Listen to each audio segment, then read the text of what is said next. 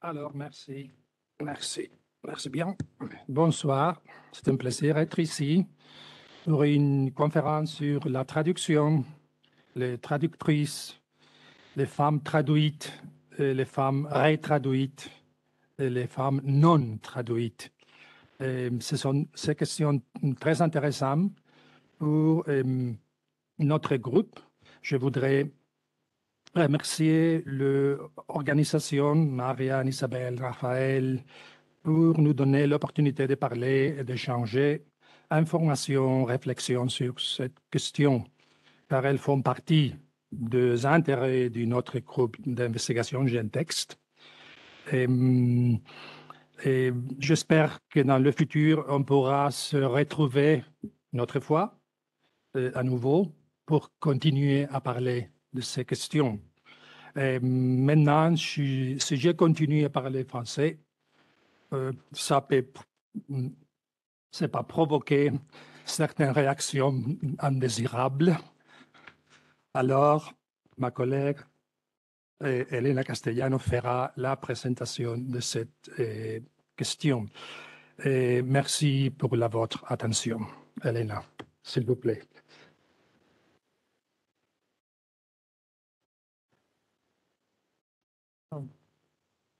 Moi aussi, je ferai mon possible. Hein, parce on vient d'un département d'anglais, mais on aime bien le français. Ça, c'est clair.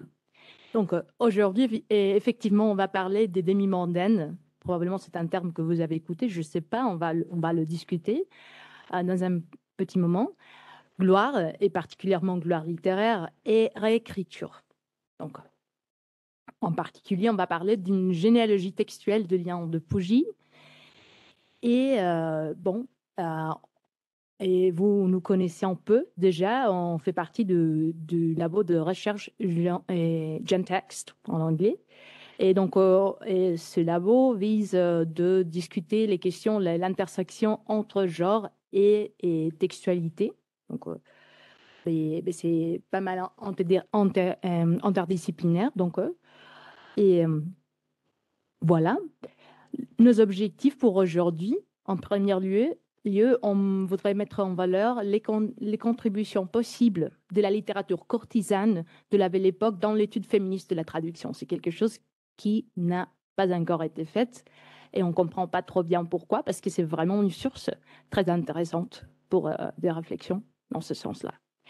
Donc aussi, on voudrait évidemment récupérer l'activité créatrice de Lian de Pougy, dont on va parler dans un, petit moment, et son identité que qu'on considère multidimensionnelle est très très intéressante, très attirante. Finalement, on va articuler une critique, essayer d'articuler euh, en principe de critique féministe de ce qu'on appelle la gloire littéraire et literary fame. C'est un terme que vous connaissez peut-être, euh, formulé, enfin introduit par Lefebvre, André Lefebvre, membre de l'école de la manipulation, et donc, euh, on commence par expliquer, euh, peut-être vous connaissez déjà le contexte, mais on va parler un petit peu de la littérature courtisane et de la recherche féministe de la traduction. Comment peut-on articuler cette présentation avec ces deux approches? Bon. Donc, la première chose, la première question à discuter, c'est la terminologie, évidemment, et euh, je ne sais pas si vous pouvez bien, bien regarder. Ce... En fait, les termes que j'ai et qu'on a introduits là sont des termes habituels pour, se, pour faire référence à une certaine à, une certaine en certains types de femmes qu'on appelait euh, demi et demi-mondaines, grandes horizontales, cocottes. Enfin, il y avait plein de mots. Et, euh, on les a définis euh, souvent en tant qu'exerçant une, prostitution clandestine bourgeoise qui associe les plaisirs de la chair et de l'amour vénal à ceux de la ville, qui évidemment, on parle d'une époque des sorts de la ville et des, des urbaines. Donc, euh, aussi évidemment, l'expression intéressant vient du demi-monde vient d'Alexandre Dumas fils, qui disait que ce monde commence où l'épouse légale finit et il finit où l'épouse vénale commence. Il est séparé des honnêtes femmes par le scandale public, des courtisanes par l'argent. Évidemment, le concept a été un peu, euh, c'est pas mal répandu, donc euh, c'est un peu plus compliqué, je dirais, que ça. Mais et, euh, ça, c'était l'originel, on peut dire la définition originelle. Et euh, nous, on pense que, en fait, la littérature courtisane féminine dans la première personne, racontée par des femmes qui étaient considérées et qui se considéraient de demi-mondaines, est, contre-canonique. Pourquoi? Parce que, en fait, ça pourrait être considéré comme réaction envers le portrait de la demi-mondaine par le voie littéraire privilégié. Mal. Mais on a des exemples euh, Dumas, Zola, Goncourt que vous pouvez voir ici sur l'écran. Et aussi, il est intéressant de, de penser au fait que qu'il s'agit des autoportraits. Donc, euh, ces autoportraits courtisans développés tout en métadiscours à propos de la recherche de la gloire littéraire. D'accord? Cette femme voulait euh, et obtenir la gloire littéraire. Et donc, euh, on va trouver ces réflexions-là chez notre personnage, mais on y arrive. Donc, qu'est-ce que c'est la gloire littéraire? C'est un concept euh, introduit par André Lefebvre en 1992. Pour nous, la, gloire littéraire est complexe et bidimensionnelle. Pourquoi? Parce qu'en en fait, il y a évidemment euh, un côté actif de la gloire littéraire, c'est-à-dire évidemment l'auteur veut obtenir la reconnaissance du système littéraire. Et il y a quelque chose que, que Bloom a appelé l'angoisse d'influence. C'est un terme très connu dans la critique littéraire euh, récente. Et, mais aussi, il y a une dimension passive dans la gloire littéraire. Évidemment, il y a des images qui sont imposées sur un auteur ou autrice, sur une œuvre, par le voix dominante du système littéraire. Et comment ça se fait? Évidemment, au travers de la traduction mais aussi il y a d'autres processus, d'autres procédures qui normalement ne font pas partie des études. Il y a l'édition, il y a l'anthologie, il y a l'enseignement, il y a la critique, il y a la création littéraire, qui dans quelque sorte est toujours récréation, réécriture. Et ça, c'est ça qui nous dit l'effet vert. Donc, lorsqu'on parle évidemment des auteurs ou autrices non hégémoniques, la gloire littéraire met l'accent sur la nature aussi passive la réussite artistique, ça dépend de, la perception du système littéraire aussi. C'est ça. Donc, on parle de traduction en tant que réécriture et tout le, processus qu'on a discuté ici sont des processus de réécriture. D'accord? Donc, euh, il, il, contribue aussi à créer cette image, cette image, cette gloire ou cette reconnaissance ou manque de reconnaissance. On parle aussi, on parlera aussi, on verra du concept de mécénat. Tous ces concepts viennent de l'école de la manipulation, d'accord, de Lefebvre, Théo Hermans, etc. Le mécénat, évidemment, on devrait discuter si la forme dominante d'approbation et appui littéraire explique l'essor de la littérature courtisane, dans ces cas-ci, de la belle époque. Donc, qu'est-ce qu'on va faire ici? On va essayer de proposer et euh, des voies pour récupérer l'héritage littéraire de Léon de Pougy, qui évidemment aujourd'hui n'est pas dans la même situation qu'il était dans les années 70, quand, il est, a eu ses cahiers bleus et édités posthumement par la première fois. Mais il y a des remarques à faire. Donc, Léon de Pougy est née en 1869 et morte en 1950. Et j'aime bien le, la façon dont Jean Chalon, biographe de Léon de Pougy d'autres auteurs, euh, l'a décrit. Et il a intitulé son, sa biographie Courtisane française et sainte. Donc on voit clairement que c'est une personnalité complexe. D'accord? Effectivement, euh, Anne-Marie Lachessagne, c'était son vrai nom, abandonné sa famille à 24 ans se marier son fils, parce qu'il voulait pas cette vie, mener cette vie, cette sorte de vie euh, euh, familiale. Et donc, euh, elle, est partie pour Paris pour commencer son périple vers la célébrité. D'accord. Et à 40 ans, en plus, après sa, sa trajectoire en tant que demi-mondaine, actrice dans des variétés, chanteuse, très célèbre. Avec, et après d'avoir eu évidemment des amants très reconnus dans la société, l'autre société parisienne, elle a, elle a provoqué le scandale en se mariant avec un Jean Prince à, à ses 40 ans, 40 quelques-uns. Évidemment, tout le monde la connaissait dans une, euh, d'une façon euh, un peu différente, mais elle a su, elle a su raconter cette sorte d'évolution dans sa vie d'une façon vraiment attirante et avec beaucoup de talent, talent et à notre avis. Et vers la fin de sa vie, elle est, elle est, devenue vraiment, elle est devenue vraiment religieuse. Elle a perdu son fils dans la Première Guerre mondiale. Elle a beaucoup réfléchi par rapport à sa vie familiale, ce qu'elle a qu'elle n'a pas pu faire ou qu'elle n'a pas su faire. Et donc, euh, euh, il y a eu un rapprochement à la religion vers la fin de sa vie. On peut voir que c'est euh, un parcours quand même intéressant. intéressant. Donc, la gloire, selon Anne-Marie, selon cette femme, ici photographiée, je pense, par Nadar. Elle parle beaucoup de, la gloire littéraire. Je vais vous montrer des, extraits de, son, de ses cahiers bleus. Donc, euh, elle a lu d'autres journaux par d'autres femmes. Et, cette lecture l'a prise au fond. Elle a eu une envie irrésistible pour euh, vraiment de faire son propre journal. Donc, évidemment, elle a reçu, on va parler de ça, l'appui, le mécénat, on pourrait dire, de quelqu'un qui était très connu à l'époque, Salomon Reinhardt, qui l'a poussé, en fait, à écrire ses expériences.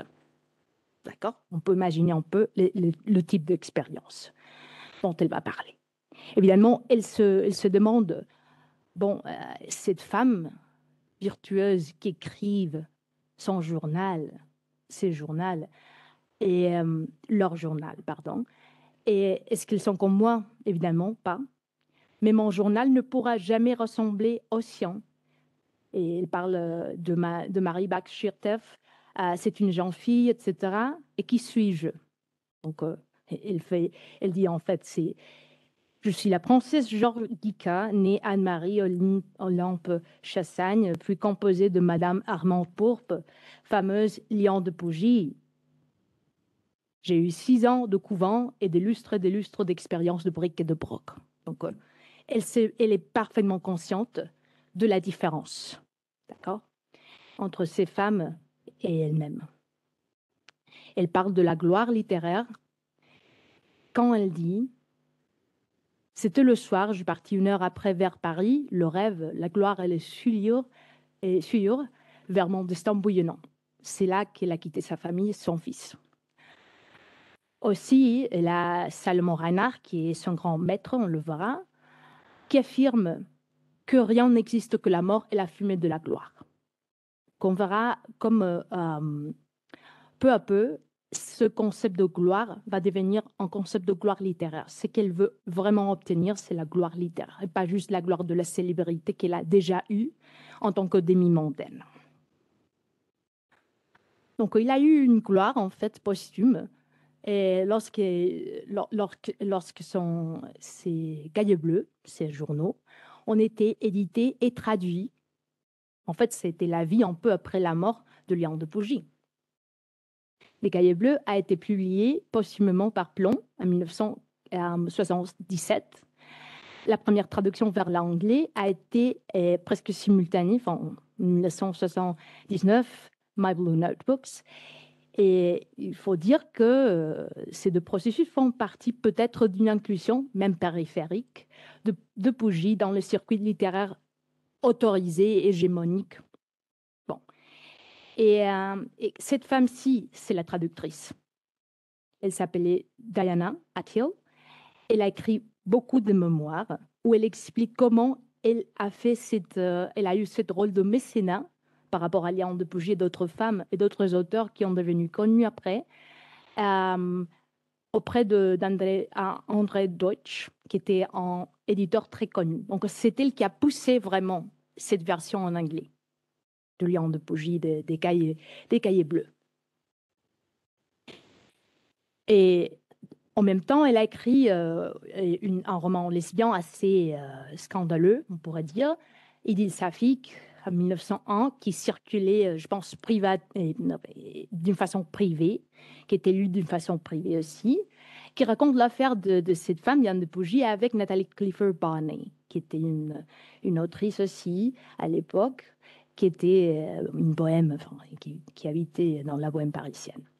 Donc, en 2021, Graham Anderson, un homme, a décidé de traduire ce roman, A Woman's Affair. Le titre est significativement moins explicite, je dirais, que l'original. Bon. Et ce traducteur, il faut le dire, a une certaine faiblesse par des auteurs comme George Sand, Louise Collet. Donc, on voit un peu le, le, un peu le, la trajectoire de ce traducteur en tant qu'activiste, peut-être. Mais il y a une autre façon de voir comment euh, on peut analyser la gloire littéraire dans le cas de Léon de Pougy. Il avait beaucoup d'affinités personnelles et des synergies créatives avec des, sujets qui étaient en fait hégémoniques, de fois, pas toujours, mais c'est le cas en fait de Salomon Reinhardt, qui était un, un historien reconnu et ami proche, qui a poussé des Pougy, comme j'ai déjà dit, à écrire ses mémoires, toujours en offrant ses conseils littéraires. On a aussi, euh, heureusement, la correspondance entre Léon de Pougy et Salomon Reinhardt dans ses archives, les archives de Salomon Reinhardt. Et euh, il est intéressant de dire que dans ces cahiers bleus, euh, Léon de Pougy parle de Salomon en tant que son ami, mais aussi son maître. Et donc, euh, il a évidemment poussé, mais elle se demande encore. Mes aspirations vont toujours vers le haut. Recevront-elles un couronnement en rapport avec cette élévation? Donc, évidemment, elle est à la recherche d'une sorte de reconnaissance qu'il n'a pas encore eue. Aussi, il y a sa collaboration en tant que subversion, d'accord, avec d'autres femmes créatrices. C'est quelque chose dont euh, les, les féministes ont déjà parlé. Et il y avait euh, les, ce qu'on appelait les femmes de la rive gauche, d'accord C'était comme un cercle, un peu euh, en, entre femmes. Et évidemment, Natalie Clifford Barney faisait partie de ce cercle. Donc, euh, et c'est en fait Salomon Reinhardt qui a gardé toute la correspondance amoureuse entre ces deux femmes, qui a donné lieu après à, au roman Idylle Safik. Donc c'est intéressant de voir l'intérêt que Salomon Reinhardt avait dans ce sujet-là, par ce sujet-là. En même temps, euh, Nathalie Clifford Barney a aussi écrit, réécrit un peu l'idylle saphique de son côté. Donc, elle a écrit Amant féminin ou la troisième. Ici, on a un autre cas de euh, mécénat traducteur, euh, parce que Chelsea Ray, qui est une, une professeure américaine, a décidé de récupérer l'original, l'original qui est écrit en français par Nathalie Clifford Barney, qui est américaine, mais elle l'a écrit en français, l'a édité en 2013 et après, elle l'a traduit en 2016. Donc ici, on voit tout, le parcours, d'accord, de ce, de ce activisme, non, de ce mécénat, je dirais. Donc, finalement, le dernier aspect qu'on voudrait euh, remarquer par rapport à la gloire littéraire, de qui on parle? On parle des femmes fameuses, mais on parle aussi des femmes infâmes. C'est comme ça il y a quelque chose que qu'on a appelé l'effet Marcel Proust. D'accord? J'imagine que vous savez euh, que en 2021, 2022, il a eu l'agenda Marcel Proust parce qu'on euh, a fêté l'anniversaire de sa naissance, aussi celui de sa mort. Donc en 2021, curieusement, on a la réédition de Mes cahiers bleus aussi la première traduction d'Idylle Safik. La gloire littéraire de Léon de Pougy, à notre avis, pourrait être garantie par son rôle de demi-mondaine ayant inspiré, hypothétiquement, quelques des personnages et de personnages féminins proustien. Ça, ça, ça a été discuté pas mal de fois. Donc, en fait, quel est le sujet de, euh, ce portrait de demi-mondaine dans d'autres auteurs qui n'étaient pas forcément les plus hégémoniques, mais qui évidemment avaient une considération différente? Euh, Il y a quelque chose de Marx, Marx qui, euh, qui nous attire. A network of anecdotes, formalized gossip that gives pleasure. Most women writers and infamous women in history have become fictional characters because of the double heritage they play in the reader's imagination. Il y a le, le, le personnage et après il y a évidemment la femme. Évidemment, il y a des projections prussiennes qui ont été suggérées. Évidemment, euh, on sait parce qu'au au cahier bleu, euh, Yann de Pougy explique qu'elle qu était proche de Marcel Proust, de son amant spécialement, et qu'elle le connaissait, qu'elle le lisait. Et on, on, a suggéré qu'Odette de Crécy pourrait être l'image de pas mal de demi-mondaines à l'époque, mais aussi, aussi Yann de Pougy. On a suggéré aussi que le, les épisodes lesbiens un peu et, euh, pseudo-lesbiens d'Albertine pourraient être euh, enfin, euh, et basés sur quelques expériences de Yann de Pougy. Finalement, évidemment, l'épisode très connu de ma, ma, Mademoiselle de Ventelle aussi, parce qu'il y a des, expériences que Liane elle-même raconte qui euh, se ressemblent. Donc, ça, évidemment, on ne peut pas le prouver, on ne peut pas l'assurer. Quand même, ça, c'est ça qui crée la gloire littéraire. C'est ça. La réécriture crée la gloire littéraire. Euh, l'hypothèse, la critique littéraire, tout. Donc, conclusion et perspective de recherche. Évidemment, il y a eu une complexité dans l'évolution de Lian de Pougy. On dirait, nous, que de l'angoisse d'influence, on pourrait parler, pas de l'angoisse d'influence, mais de l'angoisse de paternité, de devenir autrice. J'aime bien le fait que euh, en français, je ne sais pas si vous serez d'accord ou pas, mais le, mot paternité, c'est le, mot que je trouve toujours pour parler de authorship. Je ne sais pas si j'aimerais ça. Ben après, vous, pourriez me donner d'autres options. Mais c'est intéressant. On pourrait parler de maternité aussi. Donc, euh, angoisse d'être créatrice, qu'on la voit chez Liane de il y a une archéologie, il y a une généalogie, euh, on pourrait dire à l'estile de, de Foucault. Il y a une attention à formes multiples de réécriture, synergie et affinité personnelle, une attention à des cercles littéraires et intellectuels, salons, aussi privés et périphériques et pas hégémoniques. Il y a une attention aux formes de collaboration avec personnalités hégémoniques et non hégémoniques.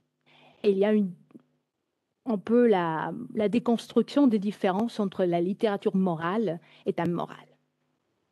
Et morale. Que ça serait tout de notre part. Et euh, tous tout votre commentaires ou questions seront plus bienvenus. Merci.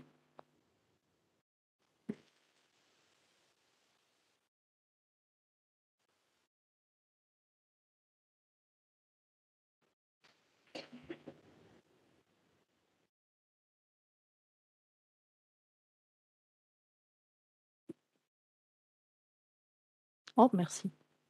C'est la première fois. Oh.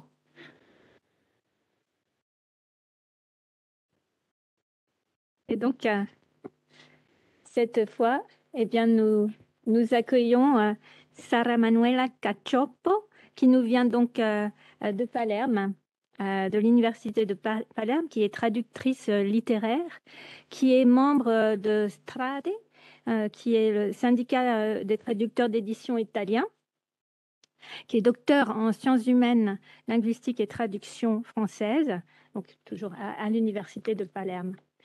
Euh, ses domaines de recherche sont euh, la linguistique, la didactique française, la traductologie, la traduction féministe, euh, et aussi l'élaboration de corpus écrits de bandes dessinées et euh, les romans dans les romans graphiques et les études de genre. Alors, elle est membre de comité de rédaction de revues italiennes et étrangères. Et elle a publié, elle a beaucoup publié déjà, et euh, dirigé deux ouvrages collectifs, euh, réalisé 16 traductions, parmi lesquelles l'ouvrage d'Amélie Nothomb et Michel Robert, La Bocca del, Carpe, euh, donc euh, en 2019, et l'essai féministe de Léa Melandri, Amour et violence, de la Société du harcèlement, aux éditions des femmes. Et donc, je la laisse vous parler et donc prononcer cette communication, dire le désir, enjeu féministe dans la traduction italienne de Thérèse et Isabelle, un roman de Violette Leduc de 1966, censuré et réédité en l'an 2000. Merci.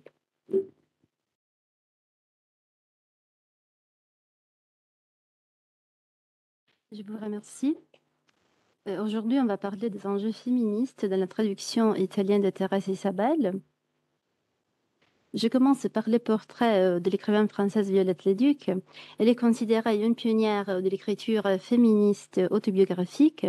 Ses œuvres abordent plusieurs questions concernant la bisexualité, la santé mentale, la maternité et le corps de la femme.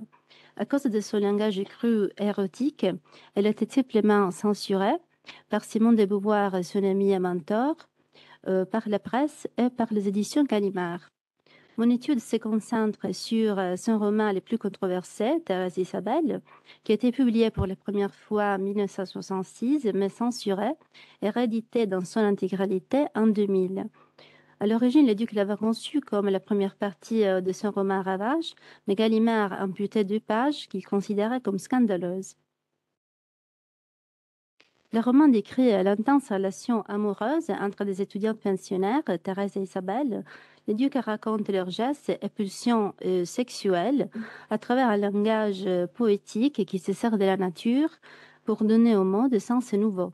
Il utilise euh, de métaphores, des synesthésies et des phrases coupées qui miment le soupir de l'excitation pour dépasser la représentation normée de la femme désirante. Son but est d'effacer les tabous sur la sexualité féminine. Nous verrons comme cette manière inédite de dire le désir féminin correspond à la possibilité de refaçonner et de centrer la femme par rapport à l'hétéronormisme.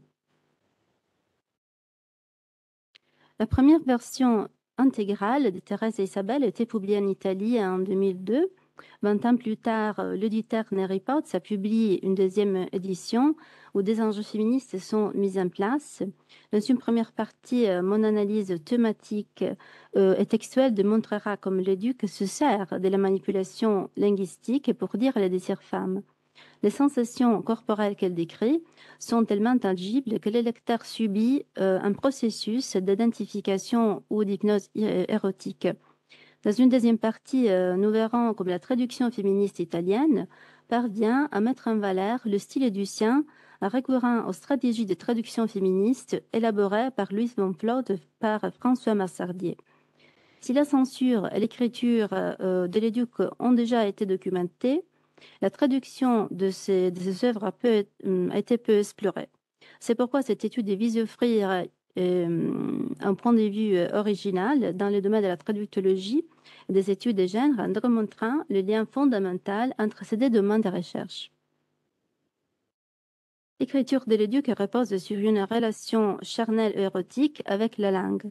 Euh, Panos pense que cette écriture, qu'elle définit charnelle, est due à la sensibilité à vif de l'éduc, tout comme aux expériences douloureuses qu'elle a vécues pendant sa vie. À ces propos, il est important de rappeler que l'éduc était autodidacte. Cet aspect contribuait à rendre son style unique et personnel, mais aussi à la marginaliser du milieu académique. En plus, le choix de parler ouvertement d'intérêt d'Isabelle d'un rapport lesbien l'éloignait de la norme hétérocentrique qui dominait son époque. C'est pourquoi Panos s'écrit euh, d'une double marginalité qui devient triple si nous euh, considérons que l'éduc est né d'une union illégitime. Perrin associe Wittig et l'éduc parce qu'elle rend le point de vue euh, lesbien universel, afin non pas d'imposer l'homosexualité, mais d'utiliser ce point de vue euh, pour déstabiliser la pensée dominante. Le corps de la femme lesbienne devient universel grâce à la matérialité du langage, qui par une esthétique du détail, c'est-à-dire le fait de raconter les sensations corporelles de façon minutieuse, permet au lecteur de ressentir ces sensations à travers sa mémoire corporelle. L'écriture pour l'éduc est aussi une source de vérité et un moyen d'incarnation de l'espérance vécue. En effet, Thérèse était le prénom d'état civil de l'éduc. En plus, au collège de Douai, elle a véritablement connu une femme qui s'appelait Isabelle. Elle a eu une histoire d'amour avec elle. Toutefois, euh, Carlo Janciti, qui est le spécialiste de l'éduc, il a écrit euh, son, euh, sa biographie. Il soutient que le, personnage d'Isabelle s'inspire de Simone de Beauvoir, la femme que euh, l'éduc a toujours aimée, euh, d'un amour impossible. L'acte érotique entre Thérèse et Isabelle le décrit comme performatif parce que c'est Isabelle qui modèle euh, le corps de Thérèse par le toucher. Les protagonistes apprennent à connaître leur corps l'une par l'autre dans une sorte de didactique de l'effleurement où les rôles sont établis parce que Isabelle est l'enseignante tandis que Thérèse est l'élève. Je cite par exemple un passage où les bras de Thérèse se forment sur les mains persuasives de l'aimé, comme s'il était venu au monde d'une sensation qui rappelle le printemps. La main, qui se voulait convaincante, mettait au monde mon bras, mon essai. Le printemps qui avait pied d'impatience dans ma peau éclatait en ligne, en courbe, arrondaire. Il est possible de démontrer la relation entre acte sexuel et acte créateur ou performatif par la présence du champ lexical de la création, euh, par exemple euh, dans les termes Genèse, chair et déluge. Le pouvoir des créations renaissance de l'acte sexuel est aussi visible dans l'association du corps euh, des femmes à la nature, au flair en particulier. je vous lis deux phrases tirées du texte. Une fleur s'ouvrit dans chaque pore de ma peau. Elle attendait. C'est ainsi qu'elle m'apprit à m'ouvrir, à m'épanouir. Nous constatons que la répétition du verbe ouvrir, au sens propre, au sens figuré, prouve qu'il est possible de vivre à nouveau euh, par la peau euh, et par le toucher de l'aimer. Nous remarquons comme l'éduc défie la censure à travers des images originales qui lient euh, les femmes à la nature et qui dépassent les frontières entre le monde humain et le monde naturel pour dire le désir féminin. Repenser le corps de la femme signifie alors le déconstruire pour les remettre au monde dans, euh, un sujet primordial, naturel, de Sirin, en rupture avec les normes hétérocentristes. L'obsession du corps chez les ducs est nommée par Bonelli écriture corporelle. L'écrivaine perçoit le monde à travers le corps, D'intérêt d'Isabelle, le cœur devient en effet le moyen privilégié de perception de l'autre. Par exemple, la peau se substitue euh, à la parole comme canal de communication parce que la peau n'est pas capable de mentir. Elle permet de dire l'indicible. Même si l'amour entre femmes apparaît idyllique, l'éduc raconte aussi ses contradictions.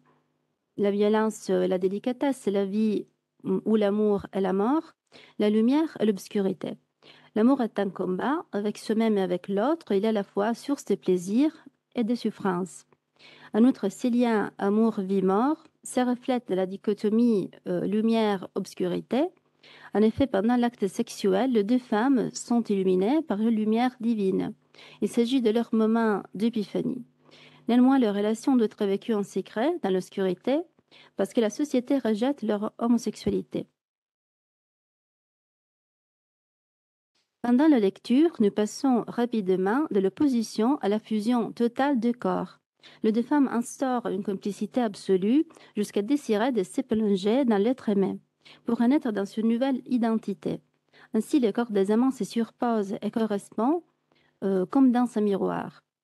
Cet idéal de ressemblance exprime une relation d'égal à égal, comme nous constatons dans la phrase Elle me reflétait, je la reflétais, des miroirs s'aimaient. D'un point de vue traductologique, nous constatons euh, les grands défis auxquels les traducteurs doivent répondre. Ils doivent traduire un langage à la fois poétique et corporel érotique. Euh, sur la base, d'une approche euh, nous partirons de l'analyse des éléments paratextuels de l'édition française de 2013 et de sa traduction italienne de 2022, où nous avons retracé des stratégies de traduction féministe qui est née au Canada en 1980 et qui vise à la féminisation du texte et à la subversion du discours patriarcal. Donc son but est ouvertement politique. En particulier, notre traduction euh, vise à mettre en valeur la euh, représentation libre du désir euh, de la femme lesbienne décentrée. Nous examinerons les stratégies traductives choisies par le traducteur pour démontrer comment cette traduction contribue à l'émancipation du discours sur les plaisirs de la femme.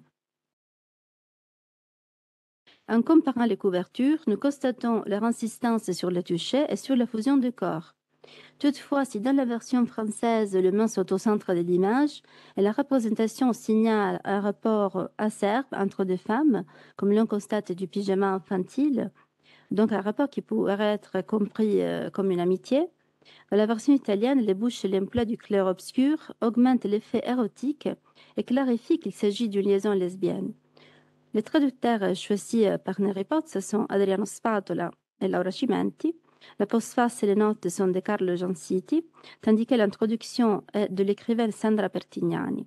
Donc l'éditeur a mis ensemble une équipe d'experts euh, et nous verrons comme leur choix renvoie euh, aux stratégies de traduction féministe élaborées par Von et par Massardier. Selon Von beaucoup de traductrices féministes réfléchissent sur leur travail de traduction dans la préface et renforcent leur présence active euh, dans les textes à travers des notes de bas de page. Elle appelle cette stratégie prefacing and footnoting, mais euh, puisque Von Plot place seulement la pratique traductive euh, au cœur de la stratégie, euh, dans notre cas, il est plus approprié de parler des commentaries. Il s'agit d'une variante créée par Massardier qui fait la distinction entre le travail centré sur la traductrice et la traduction et le travail centré sur l'autrice et son œuvre. notre cas, c'est le deuxième parce que les notes, la préface et la postface sont centrées sur l'autrice et sur son œuvre. Les notes de Jean City euh, témoignent sa présence active dans les textes. Elle ajoute des informations supplémentaires qui interfèrent avec la traduction, par exemple des intertextes, des contextualisations, de, des explications, etc. Jean City représente une sorte de double vivant euh, de l'éduc. Il sait ce que l'éduc pense. En effet, il révèle au lecteur euh, les indices secrets que l'écrivaine a disséminés dans le texte. C'est le cas de la note 8 où il indique que l'expression trois baisers fleurants sur la ceinture de son tablier est répétée dans une lettre que l'éduc adressée à Simon de Beauvoir. Donc nous voyons les liens entre Simon de Beauvoir et le personnage d'Isabelle. Dans la préface, Sandra Pertignani passe du récit de la renaissance bâtarde de l'éduc à ses amantes, à ses amants, euh, de l'amitié de, de Beauvoir aux vicissitudes éditoriales et elle fait aussi une réflexion sur la langue de l'éduc qu'elle juge lumineuse, sensuelle et obsessive. La postface de Jean City insiste plutôt sur la censure de l'éduc. Il dit que le jugement sur euh, Thérèse Isabelle a été altéré, obscurci euh, obscurci par la morale, parce que dans les années 70, l'homosexualité était encore diabolisée. Le fait d'insister sur la dénonciation et sur l'explication des faits réels confirme le but féministe, politique et pédagogique de cette préface et de la traduction en général. Toujours à partir des théories de Massardier, il est possible de retracer dans la traduction des stratégies de recovery et de collaboration. La première, euh, la recovery, est évidente parce que la traduction vise à réévaluer un texte féministe écrit par une autrice longtemps ostracisée. En effet, la traduction féministe s'occupe euh, aussi de mettre en lumière les œuvres de femmes qui ont été mm, oubliées ou mises à marge afin de les intégrer au canon mais aussi de repenser les canons comme un reflet de l'idéologie patriarcale. Concernant la collaboration, Massardi explique qu'il euh, s'agit d'une stratégie qui inclut plusieurs traducteurs dans l'acte de traduction, en éliminant la dichotomie autrice-traductrice et leur point de vue exclusif à faveur de la multiplicité et de la négociation du sens. Nous retrouvons ces stratégies de la traduction de Thérèse Isabelle où la collaboration n'exclut pas de genre masculin parce qu'Adriano Spato l'a traduit à côté de l'Archimenti, comme nous avons déjà dit. L'analyse traductologique a démontré que la version italienne explicite la connotation sexuelle du langage euh, à l'aide des substitutions, des répétitions, des éliminations ou des jonctions et par le recours à la simplification. Cette volonté de dire euh, le désir à tout prix, euh, déjà à partir de la couverture, correspond à l'intention de légitimer la sexualité féminine par la langue. Donc la, traduction n'est pas seulement capable de reproduire les lyrismes de, de l'éduc, mais, euh, mais aussi de les renforcer, de les rendre accessibles. Nous voyons maintenant comme cette transformation lexicale correspond à des autres stratégies euh, de traduction féministe de von Floto, c'est-à-dire supplementing et euh, hijacking. Le supplementing consiste dans euh, l'altération volontaire d'un texte afin de mettre en valeur le féminin et les arguments féministes. Maintenant, nous analysons des exemples pratiques de supplementing tirés de la traduction. Nous partons par euh, ces mots euh, qui ont, été substitués par d'autres à plus forte connotation sexuelle, où l'on remarque une insistance sur les touchés et sur les sensations y associées. Dans la phrase Isabelle recommence à faire briller sa chaussure, le verbe briller est remplacé par strofinare, frotter en français, qui rappelle la sensation de se frotter l'une contre l'autre. Le verbe toucher dans la phrase j'ai touché la poignée remplacé par palpare, tripoter, palpai l'impugnatura, qui renforce l'image décrite en renvoyant à l'action de tripoter quelqu'un. L'insistance sur la représentation du toucher est visible par l'usage fréquent de termes qui indiquent le contact physique manquant son, nuancé ou absent de l'original. Isabelle donnait des petites tapes à ses cheveux et résumait par Isabelle si toccava leggermente i capelli. Le verbe pronominal toccarsi, se toucher, renvoie à l'autorotisme. J'ai aussi observé que le, traducteur insiste sur euh, la répétition euh, du verbe polysémique sentire, ressentir, entendre, écouter en français, et euh, ces nuances érotiques. Ainsi, j'écoute et j'entends sont tous les deux traduits par sento, qui fait référence aux stimuli corporels provoqués par le son de mouvement d'Isabelle. Dans l'original, l'expression j'entends le son de ses doigts sur les mains ne rappelle pas seulement le sens de l'ouïe, mais la façon dont ces gestes ressentent dans le corps de Thérèse comme un, tambourinage. Cette allusion è rendue in italien grazie alla polisemia du verbe sentire. Sento il suono delle sue dita sullo smalto. Le verbe sentire est aussi ajouté dans la phrase Ho sentito Isabelle fremere contro la mia tempia, qui traduit l'expression Isabelle a frissonné contre ma tempe, pour souligner la réciprocité de la résonance sexuelle ressentie par les deux femmes. Le hijacking est, un procédé qui transforme le texte au point de se d'une traduction fidèle ou transparente. La traductrice est presque intrusive. Elle devient la co-autrice du texte. Nous allons analyser les interventions des traducteurs appliquées surtout au niveau du sens des énoncés afin de démontrer comment la traduction euh, dépasse les frontières entre l'autrice et les auteurs, les traducteurs. Manche palissée qui renvoie à l'expression pâlir d'effroi, comme le confirme la phrase successive J'avais un plaisir froid, est traduit par Il mio fianco si consumava. La substitution du verbe pâlir par consumare, consommer en français, met en scène une image différente. Le corps est épuisé à cause des mains d'Isabelle qui le touchent. En plus, euh, l'un des sens du verbe consumare renvoie à l'accomplissement d'un rapport sexuel. Je noté un bouleversement de la composante religieuse dans la phrase Elle façonnait la charité que nous avons autour de l'épaule, qui renvoie à l'amour de Dieu qui entoure le défunt pendant l'acte sexuel. L'atteinte de Dieu symbolise la cessation de leur homosexualité. Dans la version italienne, le traducteur remplace les mots charité par challe, écharpe, en simplifiant la scène pour ne focaliser l'attention que sur la dimension charnelle de l'acte. Même le pôle ressuscité devient la spalla risvegliata, réveillée. Nous constatons alors le choix de, de euh, transfigurer la résurrection religieuse dans um, un réveil des sens. Nous avons constaté que la langue euh, originale de l'éduc défie la censure en utilisant le lyrisme et la nature pour dire le désir féminin. L'éduc construit une nouvelle image de la femme comme sujet sexuel sexuel Elle, légitime, elle se légitime en tant qu'écrivaine hors norme, oblique et bâtarde. Sa recherche de la vérité est de mots les plus appropriés pour dire tout ce qui euh, va au-delà de l'humain. Son souci du détail son obsession euh, du corps sont les aspects les plus particuliers de son style, qui n'a pas son pareil dans la littérature. D'intérêt Isabelle, le duc métenu la sexualité féminine de façon à déconstruire le discours masculin, le fait de décrire l'union homosexuelle par des mots du monde végétal, animal et célestial fait que l'amour lesbien soit perçu comme naturel en se libérant de ces tabous.